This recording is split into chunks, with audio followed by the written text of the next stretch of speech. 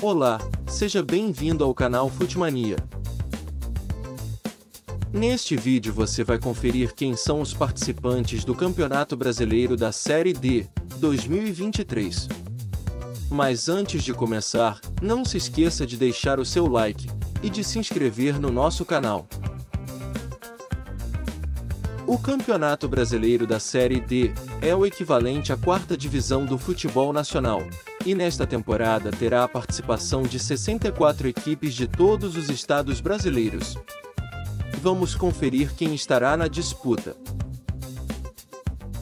O estado do Acre contará com a participação de duas equipes: o Esporte Clube Humaitá e o São Francisco Futebol Clube. O estado de Alagoas também terá dois representantes: o Asa de Arapiraca e o Cruzeiro de Arapiraca. O estado do Amapá só terá um clube na disputa. Se trata do Trem Desportivo Clube. O estado do Amazonas será representado por duas equipes: o Nacional Futebol Clube e o Princesa dos Solimões Esporte Clube.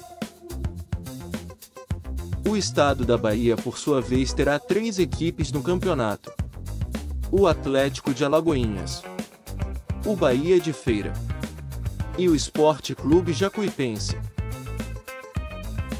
O estado do Ceará contará com cinco equipes no torneio: o Atlético Cearense, o Calcaia Esporte Clube, o Ferroviário Atlético Clube, o Iguatu e o Pacajus Esporte Clube. O Distrito Federal terá dois representantes: o Brasiliense Futebol Clube e o Ceilândia Esporte Clube. O estado do Espírito Santo será representado por duas equipes: o Real Noroeste Capixaba Futebol Clube e o Vitória Futebol Clube. O estado de Goiás contará com três times na disputa: o Anápolis Futebol Clube, o Clube Recreativo e Atlético Catalano e o Iporá Esporte Clube. O estado do Maranhão terá duas equipes no campeonato: o Cordino Esporte Clube e o Maranhão Atlético Clube. O estado do Mato Grosso do Sul terá apenas um representante, se trata do Operário Futebol Clube. O estado de Mato Grosso contará com dois representantes: o Clube Esportivo Operário Várzea Grandense e o União Esporte Clube.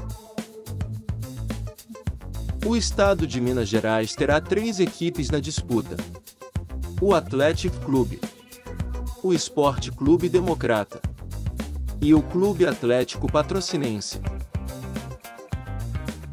O estado do Pará contará com duas equipes na disputa: o Águia de Marabá e o Tunaluso.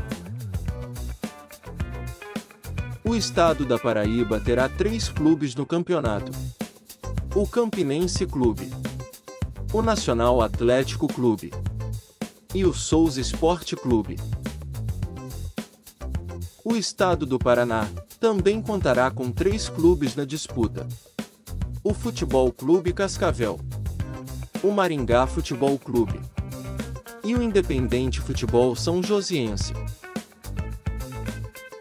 O estado de Pernambuco contará com duas equipes: o Retro Futebol Clube Brasil.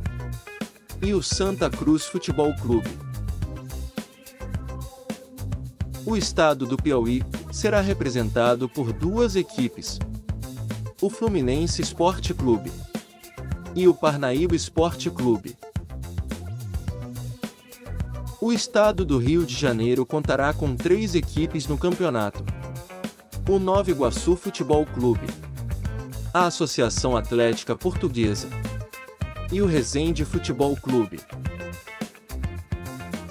O estado do Rio Grande do Norte terá dois representantes na disputa: o Globo Futebol Clube e o Potiguar de Mossoró. O estado do Rio Grande do Sul contará com quatro representantes no torneio. O Clube Esportivo Aimoré. O Brasil de Pelotas. O Caxias.